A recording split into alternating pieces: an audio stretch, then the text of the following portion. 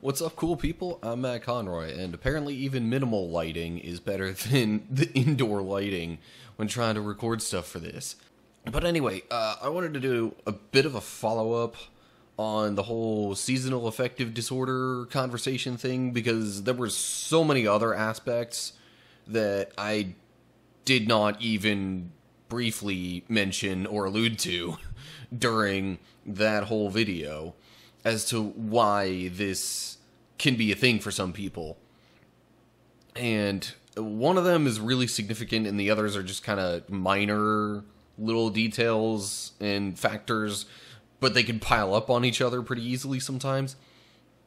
So, first off, the big one, right around this time of year, it, it really hits people the hardest, I think, when they have experienced losses within their family or close friends or anything like that, especially if it's recent. Um, you know, you, you think of it being like the first time having this holiday without that person, and it can be a, a rather depressing type of thing to think about and you don't want to think about it, but you kind of can't help it because the occasion comes up and you're used to having this person being there and or doing certain things for the occasion. And so you know that that further contributes quite heavily for some people to feeling sad or depressed during this time of year and uh, um, it also applies for people. I mean, it doesn't necessarily have to be a recent loss.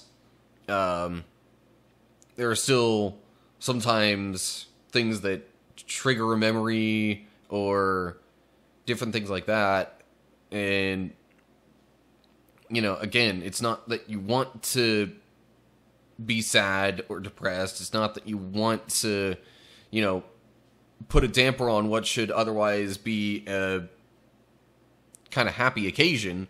But again, you, you just kind of get triggered isn't quite the right word, but you just kind of get this thought that pops into your head that it's it's there and you kind of can't help the feelings that come from it. And it it's especially true if a family member or a loved one was was lost on or very near that particular holiday occasion that that that I think kind of increases the likelihood of those feelings coming up and being a significant factor years down the road. That's that's really the other big one that contributes I think to the whole seasonal affective disorder thing because there are so many otherwise joyous occasions happening around this time of year. There's Thanksgiving, Christmas, New Year's, all that kind of stuff going on. And especially if there are any other birthdays or different things like that going on. And by the way, I say Christmas, just know that I mean all of those kind of holiday traditions that happen right around that time of year.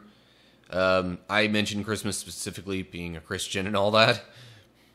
But anyway, um, so some of the other smaller factors that I think kind of play into this seasonal affective disorder thing. Some of it, some of these are perceived things, and some of them are actual, more legitimate things. Like what I mean by perceived is that sometimes it seems like people are in a worse mood this time of year than they really are, because especially as you get close to Christmas you got all these songs about it being the most wonderful time of the year, and you know you you have uh, all these catchphrases and things going on around us saying that it should be a happy time of year.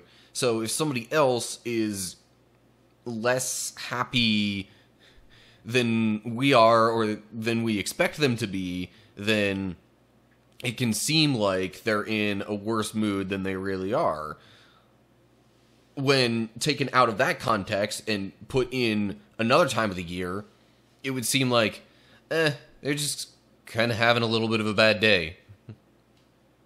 No big deal. But because of that mentality of this being a joyous time of year and, you know, tis the season to be jolly, all that kind of stuff, uh, it makes us, again, think that people are in a worse mood than we would think they are any other time of the year.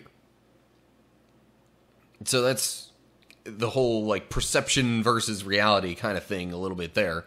Uh, but other factors that play into this, um, you know, in addition to just the the dreary weather and that kind of stuff, the the coldness in most parts of the U.S. anyway, um, at least a fair number uh, of people experience this. You know, it gets colder and you're kind of cooped up inside more. And so because you're not able to go out there and get as much fresh air and or exercise and all that kind of stuff it kind of it contributes a little bit to just feeling kind of trapped feeling like you know there isn't as much to do you get bored a little easier and so that can contribute to having a little bit worse of a mood than normal.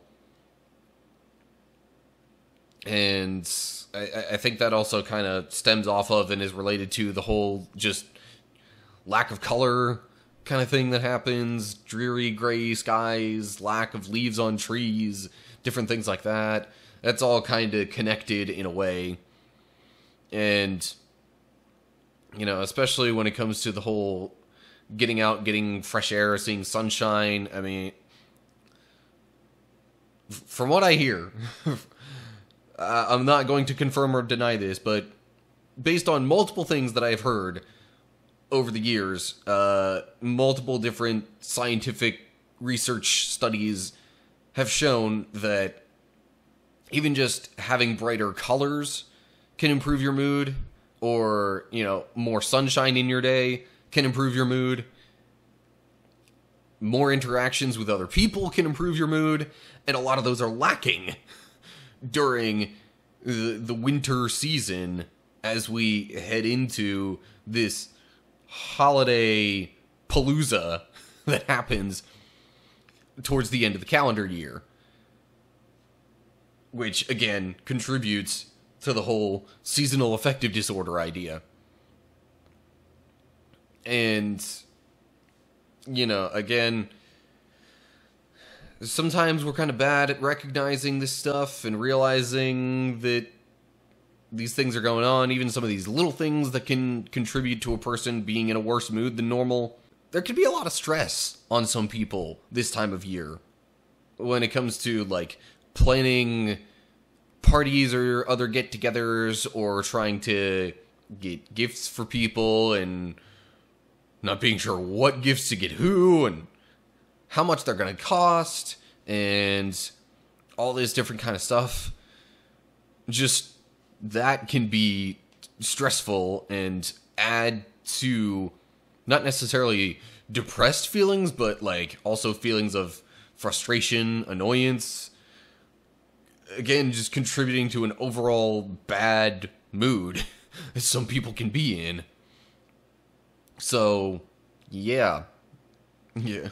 There's a whole lot of different factors that can feed into this whole seasonal affective disorder thing. And again, I just kind of want to put this out there, and I'm hoping more people will recognize it and not be so like, well, aren't you all crabby pants right now?